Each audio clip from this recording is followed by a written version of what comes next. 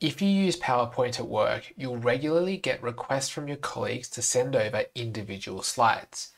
Not only is it quite annoying to save only a single slide in PowerPoint, but if you're doing it a lot, it can be quite tricky to keep track of version control. In this video, we'll show you how to quickly save individual slides and track version control using ThinkCell. There's no way to save individual slides in PowerPoint today.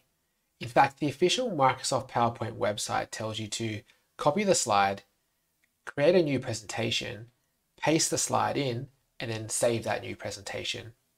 This is really clumsy, especially if you want to save multiple slides individually or you have to save one slide regularly. Fortunately for us, ThinkCell has a save individual slide function built into the software. So first thing you need to do is pick the slide you'd like to save. I have the four slides from a previous video about um, difference arrows and CAGR arrows in ThinkCell. And for example, I might want to save the slide that references level difference arrows. So I've selected the slide.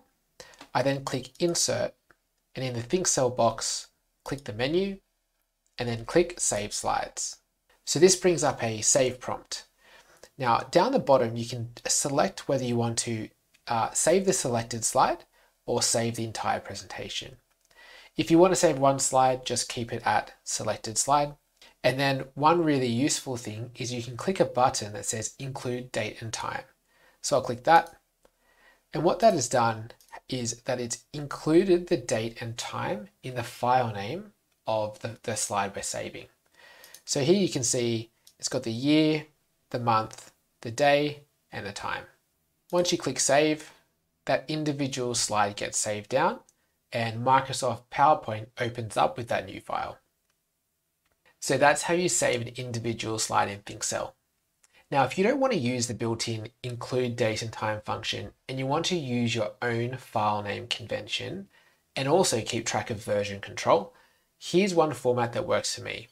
Start with the file name, then include the date, year, month, day, then include the time in 24 hour time. This format works for version control and it's also very useful when you're looking for the latest versions.